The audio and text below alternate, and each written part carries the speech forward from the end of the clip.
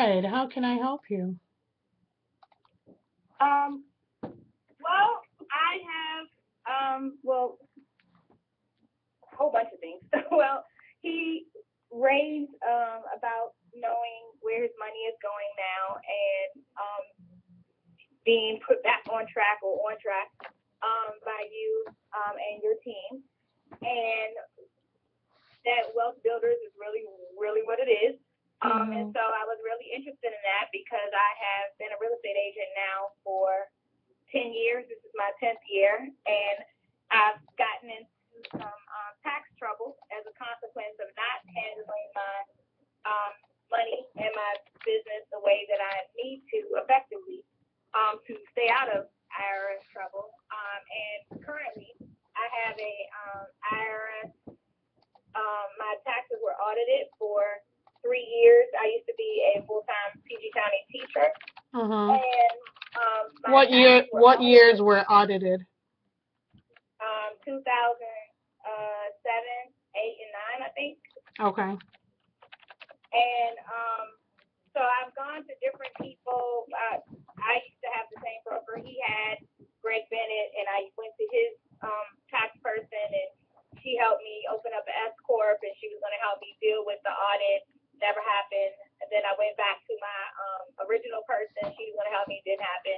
Went to a different person, and I've still been trying to get help with this audit. And I've I've I've called some of those numbers that you hear people saying if you have you know if you're having any issues, call them.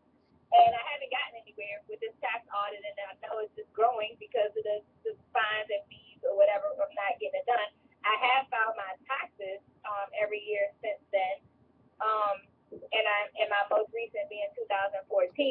But um, my business is basically, uh, from a money standpoint, all jacked up, and I need I need repair. I need help um, organizing it appropriately and making sure that I am paying my taxes on, you know, in, in the way that I should.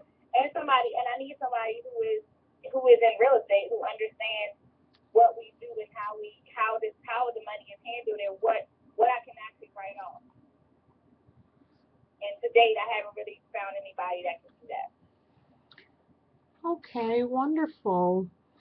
Yeah, I don't I I don't think I need to sell myself because I think that Marquise has already done that. He did a he did an excellent job. I need to thank him for that. Um, so maybe what we need to discuss is there's two ways that you could work with us. The first way is signing up for the same plan that um, Marquise has. That plan is $29.95, but I have a stand-in agreement with Greg um, that his um, his um, agents will get it at $19.95, so you get like a thousand dollar discount because you're part of Greg's team. And we go ahead. Yeah, go ahead. And then we will also throw in maybe reviewing the audits from '07 to '09 to see, you know, figuring out like what happened and, you know, also I'll need to look at 10 through, have you filed 14 already? Yes. Okay, so then also review, basically reviewing your taxes from 7 to 14 and then come up with strategies on how we need to work together, you know, going forward. There's several things that need to happen with, like we do year-end tax planning, which is something you'll need as a realtor, you know, where you're used to probably filing your taxes come April 15th. For most of my clients, they're sending me their information November, December, so that we can kind of see what is going on and come up with strategies to save on taxes before the year runs out. So that's something that you really want to, you know, get on board with.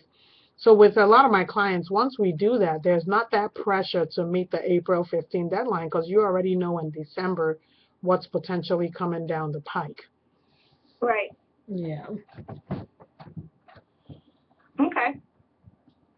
Sounds good. Um, one of the one of the things that I have been told before, and I guess this is what something we can talk about is they the, all the people that I have talked to about this said that they would um, try to help me do an offer in compromise on the amount that is actually owed, which is a Mhm. very large amount.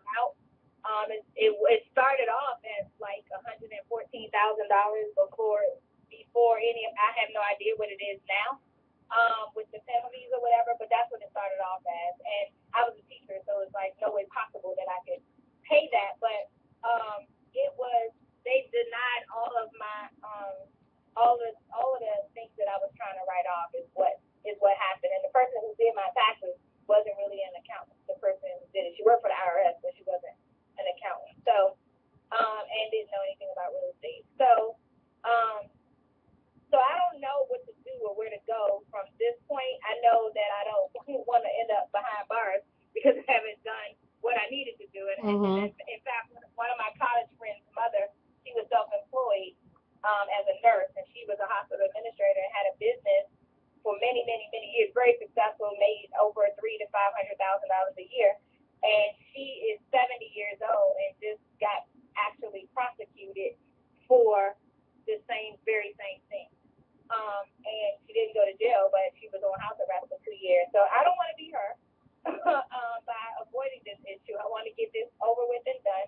And going forward, I want to make sure that everything is is right, and I know where my money is going, and I know my my spending, and I'm saving, and I'm doing everything. I want to build wealth. I, I want to leave a legacy for my 12 year old kid. My dad was a um, entrepreneur, probably a millionaire most of his life, and he died at age 56 and had nothing left to. And I definitely don't want to be that person. So I'm trying to do whatever I need to do um, with the guidance of you and Marquise to get there. Okay, yeah, definitely. That's something that we can assist with. Um, in terms of the offer and compromise, until we review what you have, I would not be able to tell you. But 90% of, if most people have told you that it's an OIC, it's probably going to be an OIC route. The other option is to do something called a deferment, where it's put in a deferment status based on the income you're earning right now. They may agree to a very low payment for a couple of years and then look at it later. That gives you time, you know, to really figure out. Then we need to go back and look at what kind of expenses were disallowed, why were they disallowed? Did you have any kind of backup? Is it something that we should do? Is it better off doing an OIC versus an, an audit reconsideration? You know, all those things Okay. we'll look at and then come up with the best way um, forward. Okay. So what do we need to do from this point? Well, I can send you the registration form for the wealth building program. Take a look at it. Um, we have more information on our website. Once you review it, send us the registration form, then we will um, request documents that you need to send us to do the review. And then we schedule an initial meeting um, to decide, okay, these are the things that we need to work on going forward. Okay. Sounds good. I'm just writing my notes here. So we will try to get that information to you um, by tomorrow morning so you can take a look at it, you know, make a decision, fill out the form, send it back. We'll get you a list of items that you need to bring us, and then we'll get to work. Okay. All Looking right. forward to working with. Thank you. You too. Have a great day. Okay. Thanks. Bye bye. Mhm, Bye.